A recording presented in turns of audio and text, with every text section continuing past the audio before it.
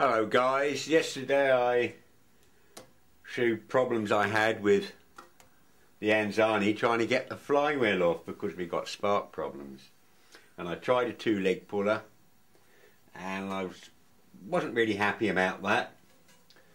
I had lots of suggestions, thanks everybody.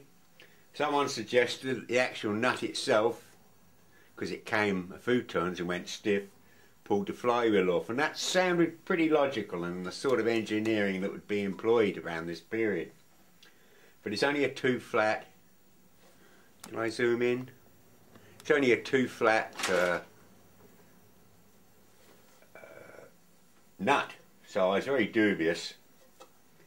But thinking about it I thought yes that's probably what happens. The actual nut is, is the draw tool itself. That's um, I, became more and more convinced of this.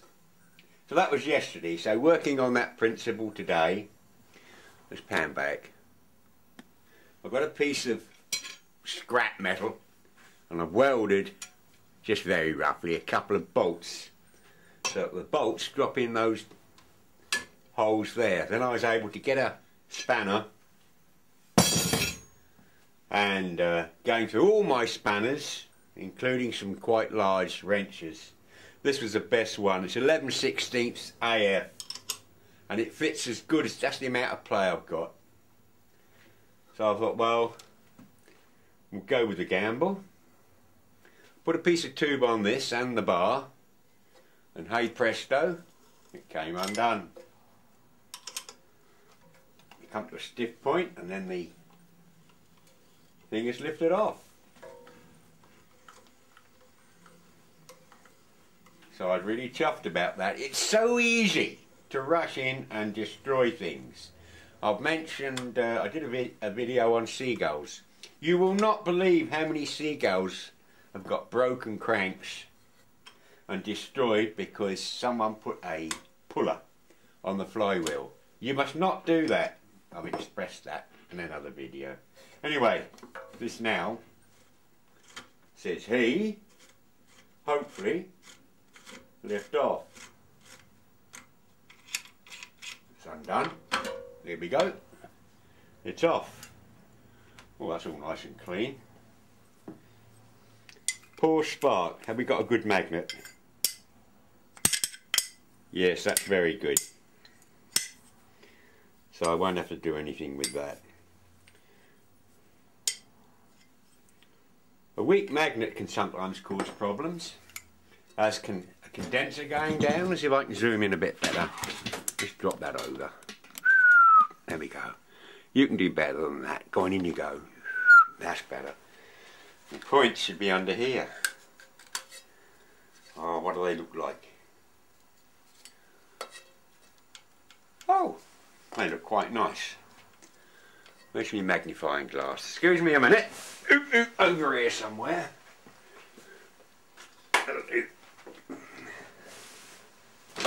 Right, I'm back.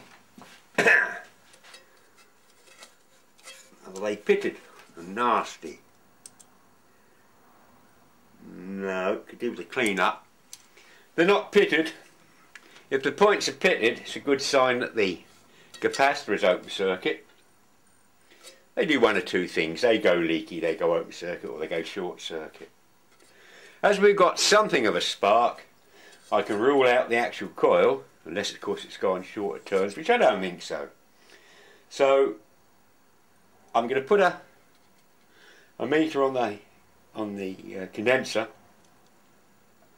And there's no evidence of sparking so I'll clean up the points generally clean round put the flywheel back on and we'll see if we've got a, a decent spark yes or no.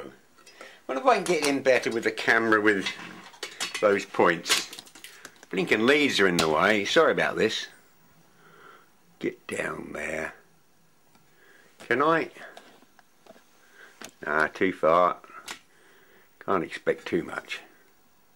Now that's as close as I can get. Sorry about that. But you can see the action of the... It's beautifully made. It's quite clean. Pleased with that. So all in all, we're making progress. I'll put the camera aside and have another film after had a cup of tea. See how we get on. Okay, I'm back. I've undone the clamp to the little capacitor, condenser, call it what you will. Show me age and I. I undid the earthy end because it's easier than the ends in the points, but it doesn't matter, it's like lifting one leg. And I've slid a piece of paper underneath it to insulate it from the body. And using my trusty Avo, you can only use analog meters for this test, digitals don't work. Hence my love for old, older stuff. Anyway, observing the right uh, polarity, and this one has the right polarity, um, on ohms, if you watch the needle, um, when I touch the body of the capacitor, you'll see the needle cock up and uh, or jump up uh, as it as the capacitor charges, and then it should drop back. So there we go. It comes up now. She's dropping back, dropping back, dropping back, but it stopped about there, and that's about we're on times 100, and it's two and a half k, so it's 250,000 ohms. It's dropped back to. I would have suspected that would have been a lot lower. So I think that might be a bit leaky but they vary. I'm assuming that's a 0.1 microfarad, and I've got a, a box of similar ones here, and they're all of that value. So I'm going to take that one. Well, I've already checked it, to be honest with you. And if I put that on the earthy side, hang on, get this right. I put that on the earthy side and touch this on the body, watch the meter. It cocks up and jumps down. That's about right for me. That sounds that uh, I'm more happy with that. So I'm going to uh, I'm going to put that uh, capacitor in place of that one. It's got to be about the same value. It's not critical. So we'll see how we get on well without altering the setting at all I've lifted the points out only held in by um, one small screw and then there's an uh, adjustment for altering the gap. Well, I haven't touched the adjustment, I just lifted them out to, in order to take the capacitor off and I'm able to inspect the points that little bit closer. I don't know if the camera's going to show this, but yeah, just about. Look, that's that's pitting more than I wanted. I didn't initially see that, but um, I'm not too happy about that. So I'll very gingerly stone those um, till I can get two flush faces. Um, as I haven't a spare set of those. Um, yeah that'll be okay. And then I'll fit a new capacitor. And I'll lay you 10 to 1 that'll uh, cure our problems. Anyway that's the best I can show uh, without a macro camera I don't really recommend stoning points, but if you can't uh, replace them, you have no alternative. Anyway, that's the that's the finish I've achieved. So we'll go with that. Here we have the points put back in. New capacitor fitted. So it's just a matter now of boxing things up. That cover goes on there and there's a spring that comes up here and drops over that peg like so.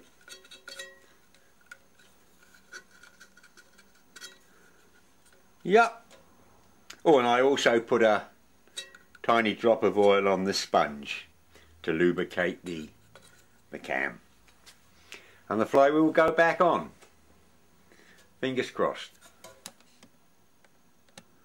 Using a decent light, and with the aid of a magnifying glass this is a Wipac uh, magneto and uh, it's marked on here set points 0.018 which uh, with the magnifying glass I'm able to do so we just put the top on